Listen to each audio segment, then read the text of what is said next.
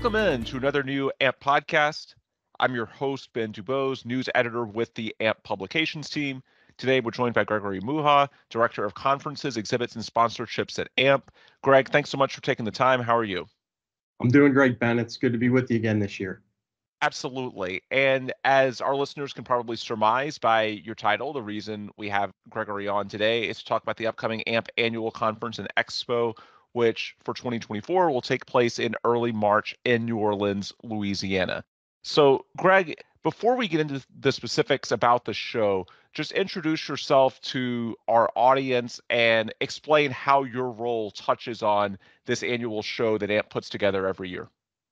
Sure. So, uh, again, I'm Greg. I'm the Director of Conferences, Exhibits, and Sponsorships.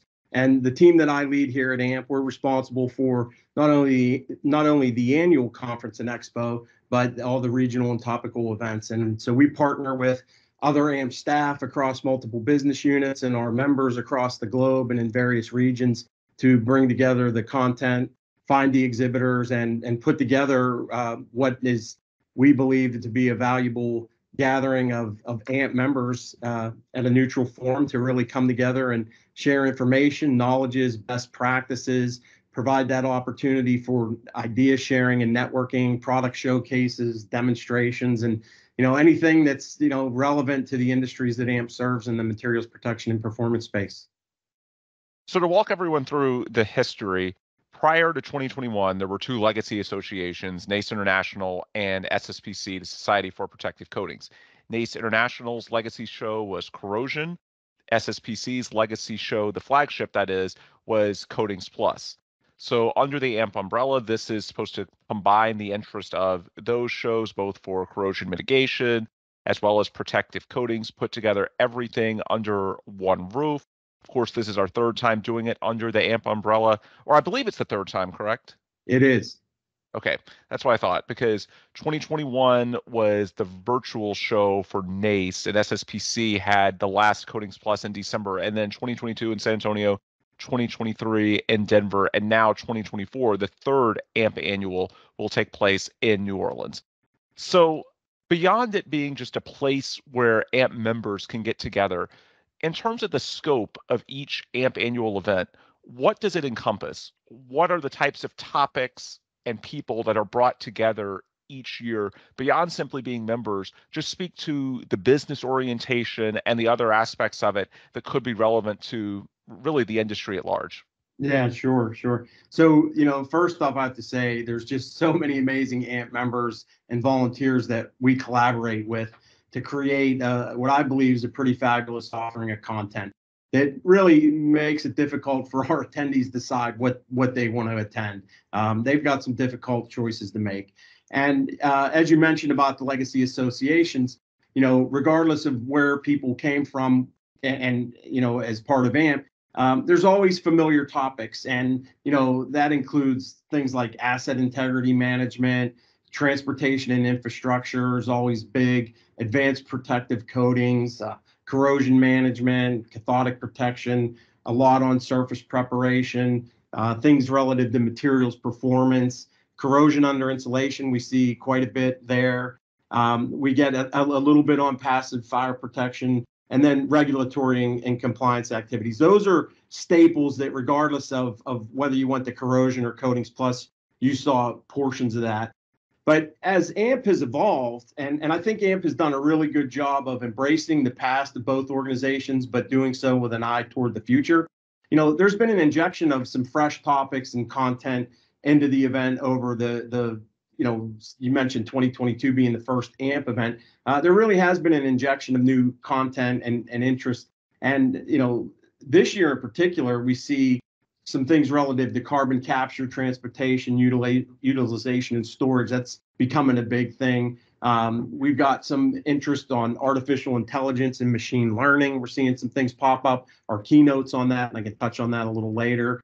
We've got some robotic inspection activities this year in the program, a lot around renewable energy. Um, we've seen a little bit of a bump around military and defense related activities tied to corrosion and coatings. And we're also seeing a little bit of a bump in the non-metallics area.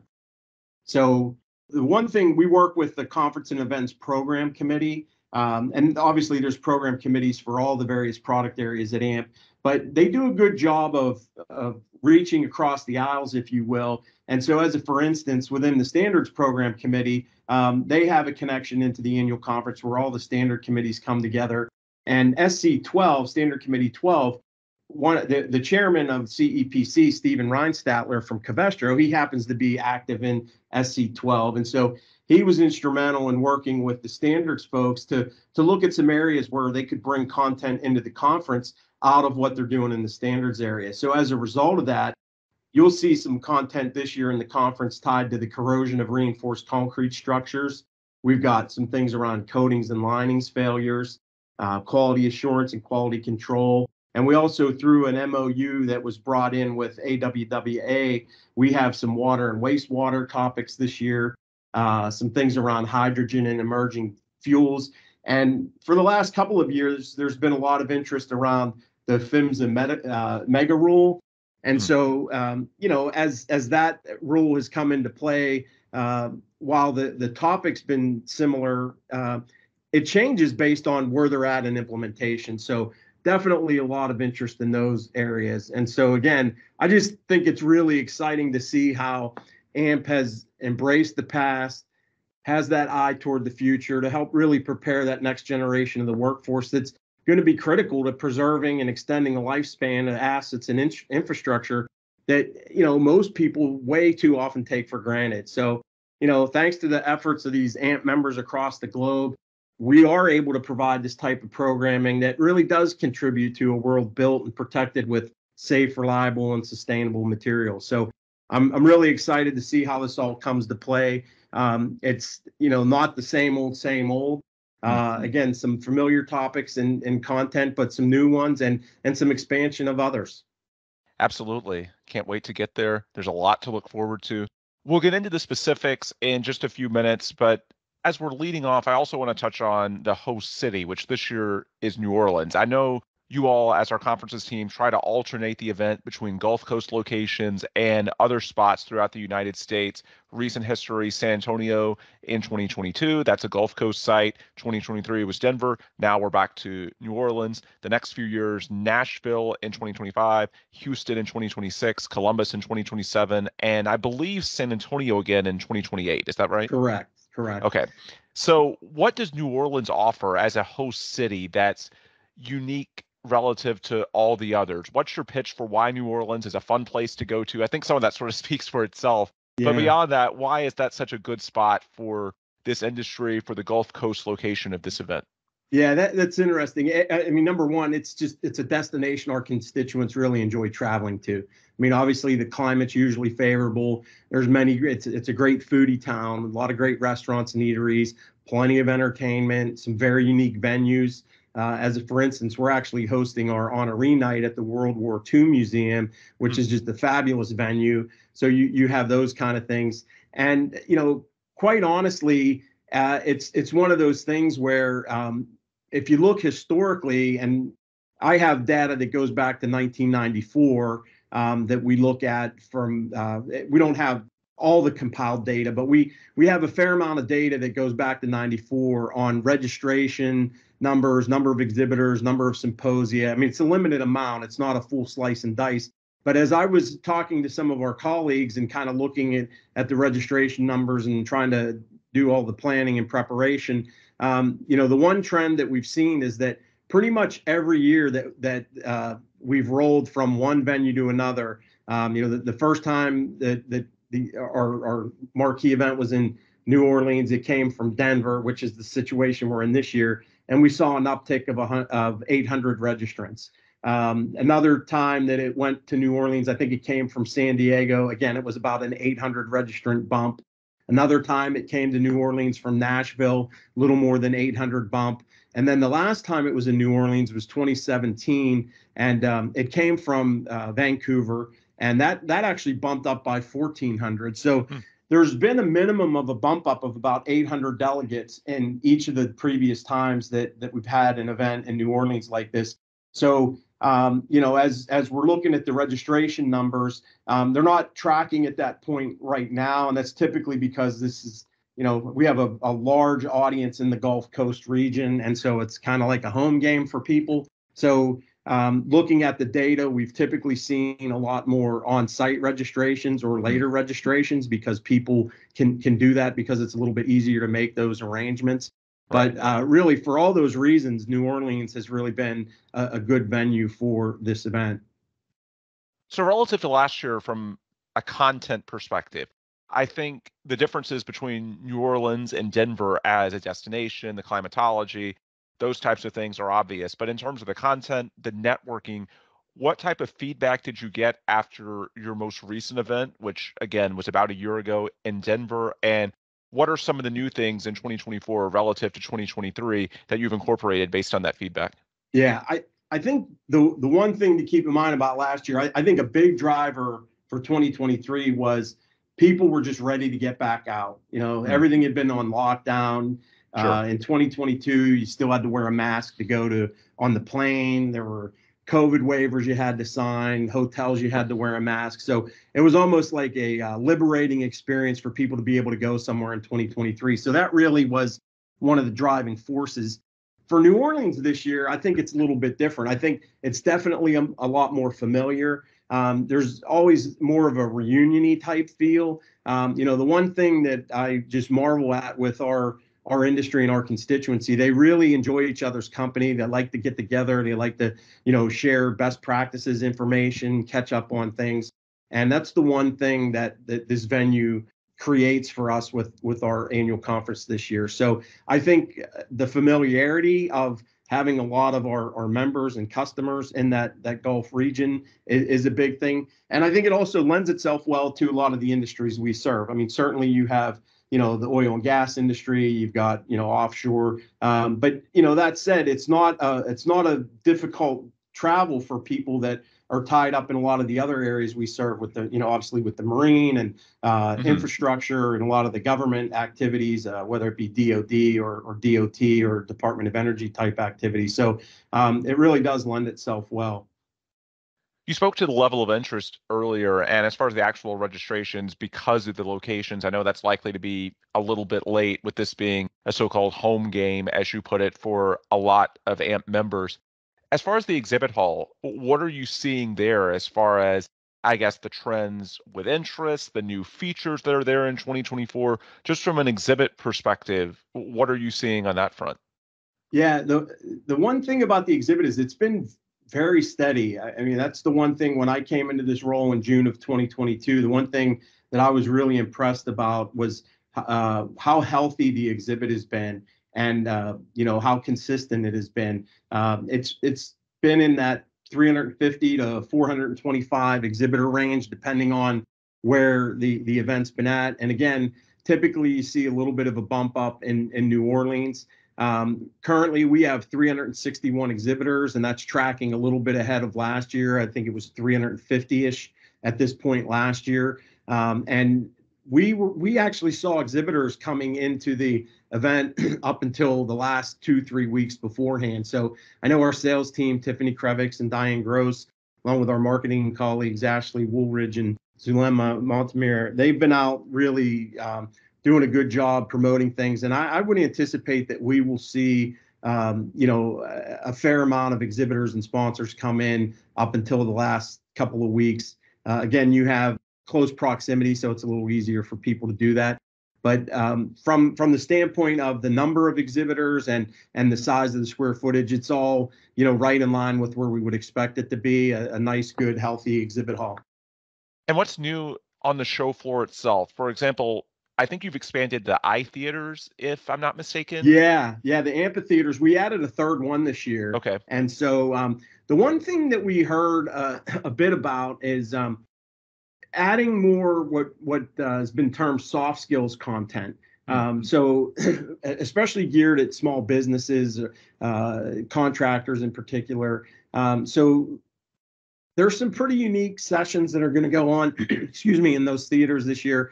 Um, one is, is uh, marketing tactics for small businesses in a digital world. So we'll have a, a session on that. We have another one on unleashing the power of video in your marketing strategy. So again, these are not things that would be typically seen in one of our our session rooms, but you know, this is something that could really be of relevance if you think about those small businesses that don't have the resources. I mean, heck, for an organization like ours, you know, we we are always looking how can we get better at these things. So I can only imagine what it's like for a small business that doesn't have some of the resources that we do. And then one thing we added this year that we thought was really relevant, and I, I got to give a shout out to Andy Shingledecker. He is um, on our conference and events program committee, uh, and he's the task force chair of uh, sponsorships and exhibits. And he's been working with some people on my staff, Alina Blanco, Sam Burrill, Sherry McCaskey, to really look at how can we increase the value for exhibitors. And so, you know, we have a lot of 10 by 10 exhibitors. There's certainly a lot of large booths out there, and that's what everybody, you know, hey, let, let's go look at the big stuff out there, kick the tires, things like mm-hmm. that but there are a long a, a, large number of, of smaller exhibitors doesn't mean they're small companies but they might have a smaller booth 10 by 10 and so we added a session this year called winning at trade shows tactics for business growth and it's really you know a session to to help our exhibitors and those that aren't exhibiting to take a look at ways that they can Im- improve their experience and really do a better job at trade shows in general not just the amp trade show and again the work that andy's been doing he's been reaching across adjacencies. So he's looked at areas like the the uh, waste and refuse area. He's looking at other you know material spaces that you know are in our wheelhouse, but maybe you know not something that everybody thinks of at at uh, first pass. So you know what what can we do in the plastic space to bring more uh, mm-hmm. from that area or from some of the the other uh, alloys and metals and things of that nature. So, um, you know, looking more so into the drill down materials area as opposed to as as the asset.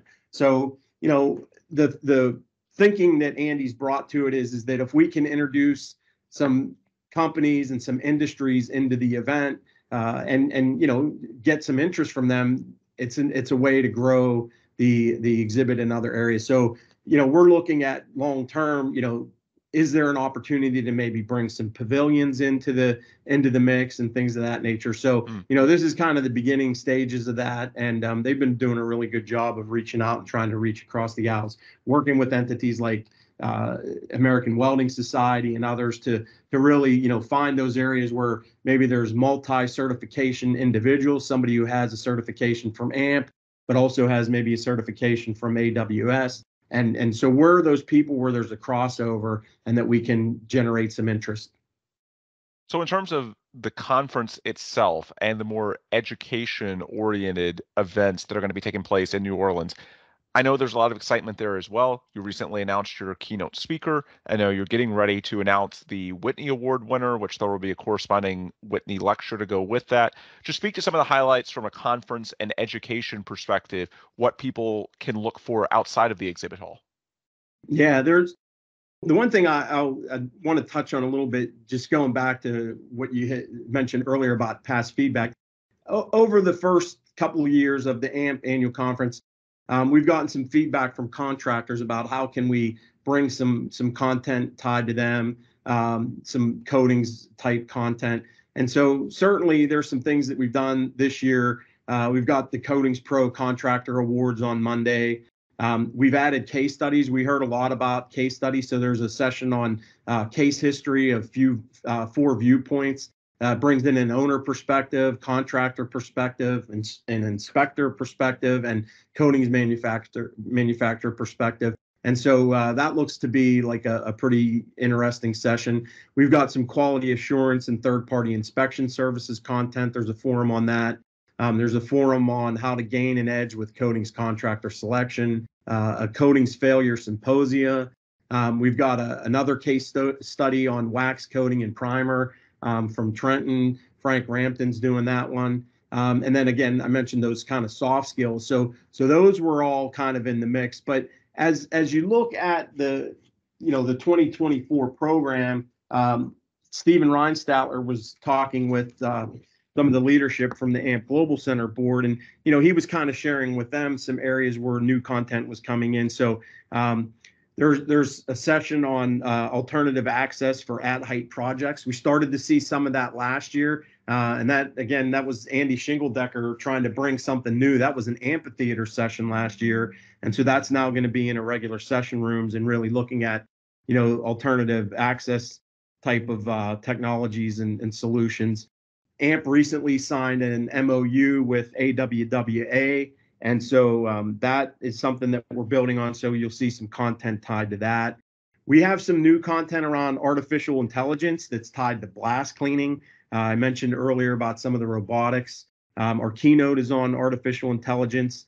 The, the carbon capture and storage, we're seeing a big interest there. Um, uh, Elaine Bowman has been instrumental in bringing some of that content together. A real interest around sustainability topics, um, emerging fuels, hydrogen, the concrete uh, reinforced steel concrete structures that I mentioned earlier. That that's mm-hmm. something that's new, and um, really the, the the big thing I think is um, some of the things around the defense and military. We we have seen a couple of pop up there, and then we've also seen some corrosion and coatings interest from the automotive industry. So we have a new session this year tied to corrosion and coatings on automotive. So you know, those adjacencies that Andy was working on, we're also trying to do that on the technical program side. So it, it's interesting to see these things kind of come together, not the typical things that you would always see. We've got some things on aerospace. Obviously, we've got some maritime and, and some marine type activities. So uh, a good variety. And as I said, I think our attendees are really going to have a difficult time picking out what they want to go to keynote speech is Monday afternoon, March 4th, just prior to the opening of the exhibit hall, correct? It is Dr. Michio Kaku, and um, yep. he's going to be talking about uh, the impact of artificial intelligence on the workplace.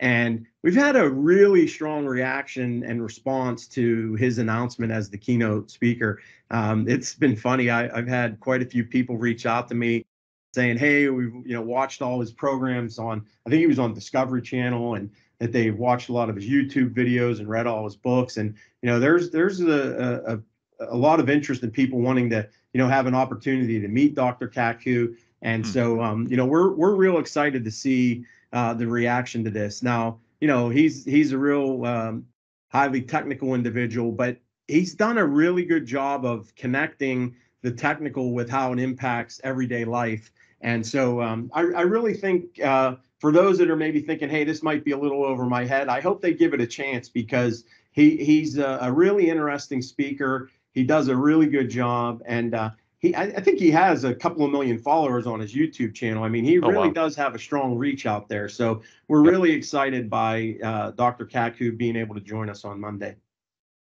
Yeah, the event taking place from March 3rd through the 7th in New Orleans. If you want more info, you can go to ace.amp.org, ace.ampp.org, or you can download the AMP annual app, which has an updated schedule. Beyond education, beyond the exhibit hall, there's also a lot of networking and social activities that take place in connection to an event like this because you're bringing people, really the mm-hmm. entire industry, hopefully, together in an event that celebrates all of AMP membership.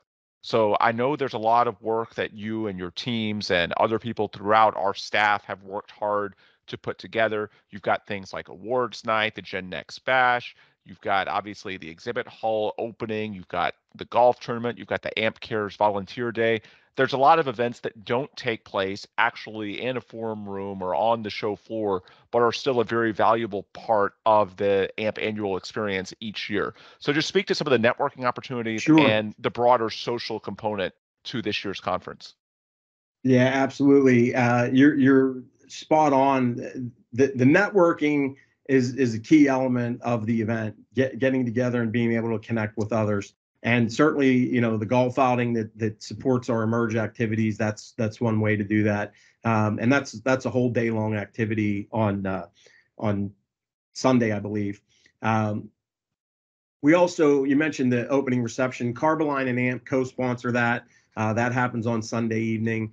Um, we do have the the exhibit grand opening and reception that is sponsored by sherwin williams and that'll happen on uh, monday and just prior to that will be the uh, the Coatings Pro Awards happen right outside the exhibit hall as well. So the Coatings Pro Awards will be presented, and then we'll have the grand opening.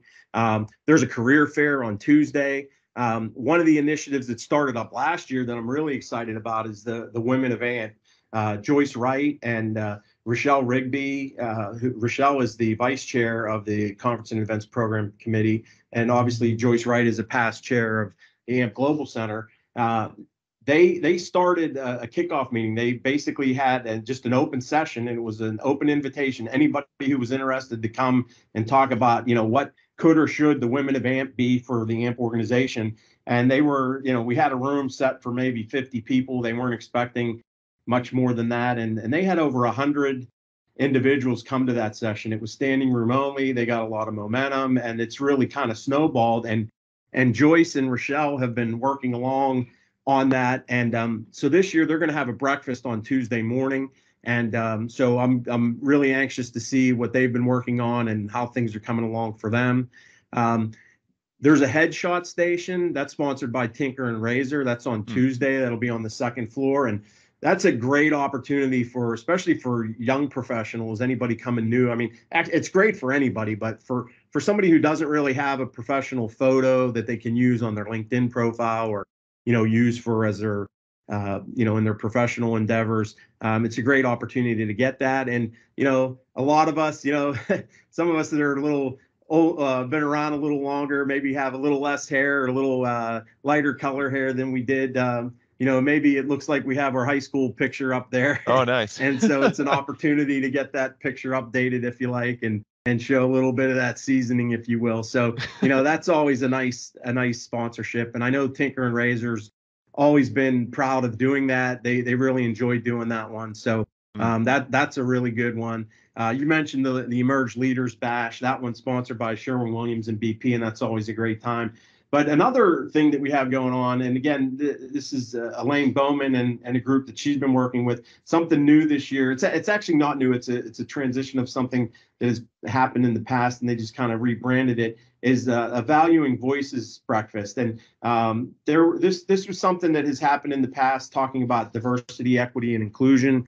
And um, you know, they they came up with I can't remember where the term came from, but I guess there was a group of people talking about things, and and so this valuing voices kind of tagline evolved, and um, so that that's a breakfast that's going to happen on Wednesday.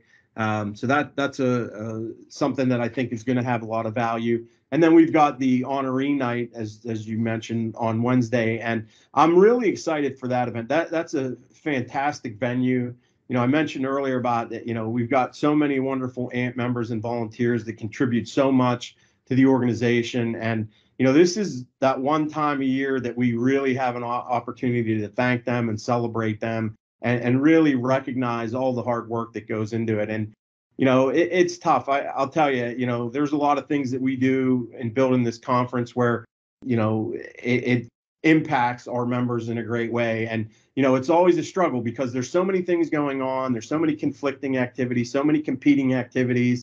You know, everybody wants to be on either Monday or Tuesday with their presentation, but you know, somebody's got to go Sunday, somebody's got to go Thursday. It's like, how do you balance this all, juggle this all? And you know, sometimes our members can feel like they're lost or they're not appreciated. And so this honoree night is that that one night to really you know thank them and recognize them. And and i hope that uh, a lot of our members will come and support their their fellow members and and recognize them for these great contributions.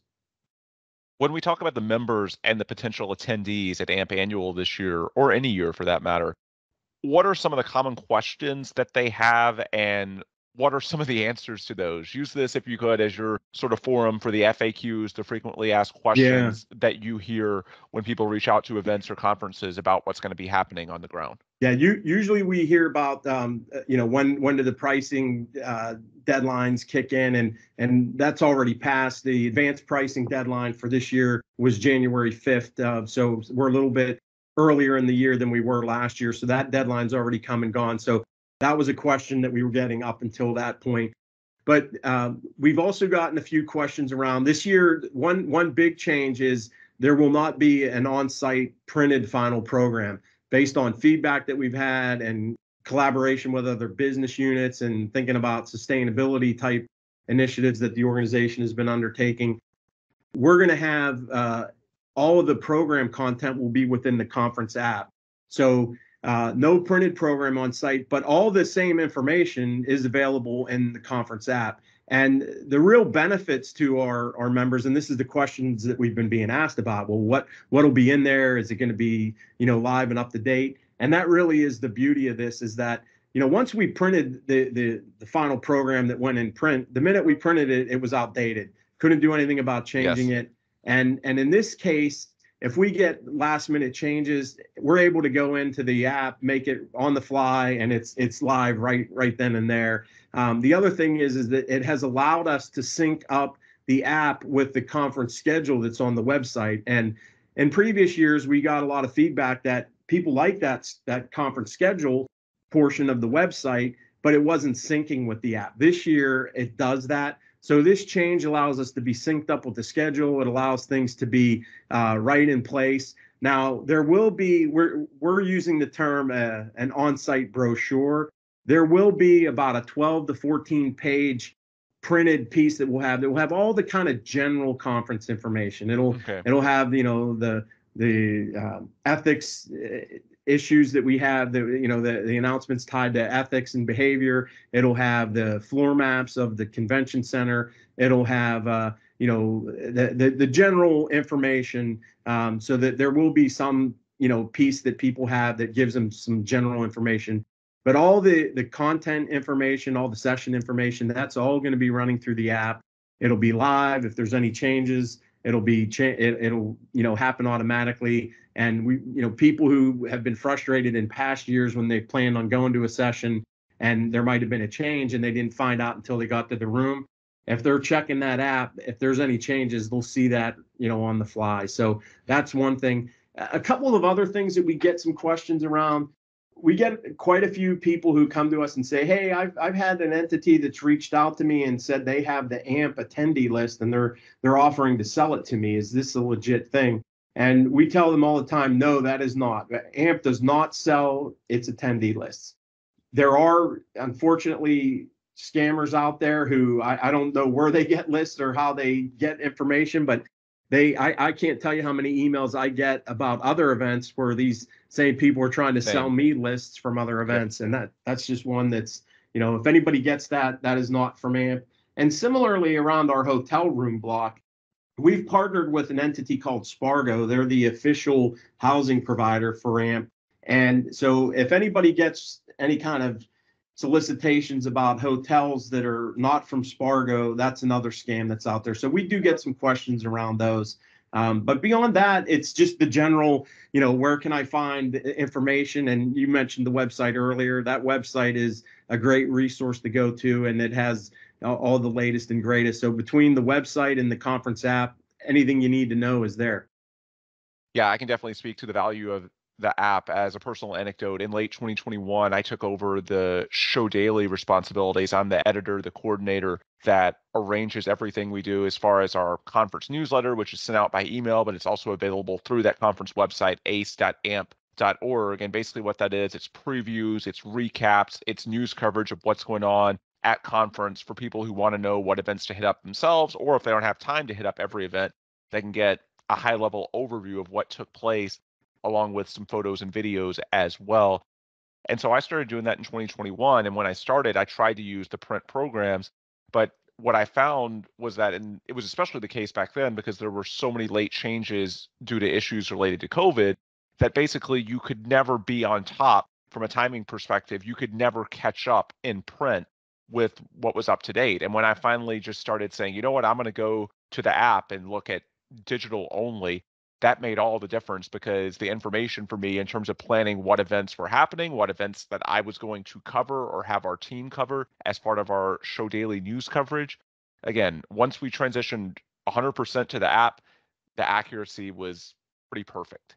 As opposed to when it's printed, I know we don't have the COVID concerns now that we did a couple of years ago, but the reality is things always change. There's always one or two little tweaks that need to be made at the last moment. And just directing people to the app ensures that you're not going to have anyone going on outdated information. The app is how you know it's going to be 100% up to date and reflective of what's actually going to happen on the ground. Absolutely. All right. I think that's everything I wanted to cover. Uh, Greg, before we sign off, for anyone listening who may have further questions for you or your team, what's the best way they can get in touch with you or anyone else from uh, conferences or events? Yeah, sure. From the website, there's a, a, list of contacts, and, and my team is listed there. But uh, for for me, anybody's welcome to email me directly. My email is greg.muha. That's g r e g dot m u h a at amp.org. Um, for general questions around the conference activities, Sherry McCaskey from our team is the person that can be reached out to. That's uh, Sherry.McCaskey, S H E R R Y dot M C C A S K E Y at amp.org. And then for the exhibits, uh, Sam Baril is our senior manager of exhibits. Um, they can email him at sambaril, S-A-M dot B-A-R-I-L-L at amp.org, and uh, they'd be happy to answer any of their questions. I mentioned earlier that we'll probably see some exhibitors come in. Anybody who may be interested in purchasing an exhibit or a sponsorship, they can reach out to Tiffany Krevics. Uh, same thing, tiffany.krevics, that's T-I-F-F-A-N-Y dot K-R-E-V-I-C-S at amp.org, and Tiffany would be happy to help them. Sounds good.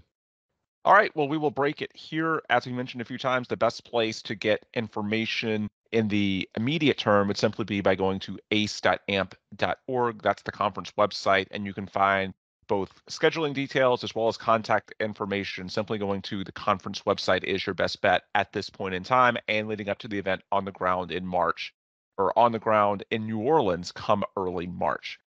Greg, thanks so much for taking the time. Have a good day. You too, Ben. We'll wrap it here for Greg. I'm Ben. As always, we appreciate you, our listeners, so much for tuning in. And if you want more resources from us at AMP beyond simply the conference, you can go to amp.org or our publication websites, materialsperformance.com, coatingspromag.com, for all the updated industry news related to this conference and beyond, anything related to corrosion mitigation and prevention, protective coatings. We cover all niches within the industry. So check out our publication websites as well as the association's website at amp.org. All right, with those plugs complete, we can adjourn. For Greg Muha, I'm Ben Dubose. Appreciate you all for listening, and please come back soon for another new AMP podcast.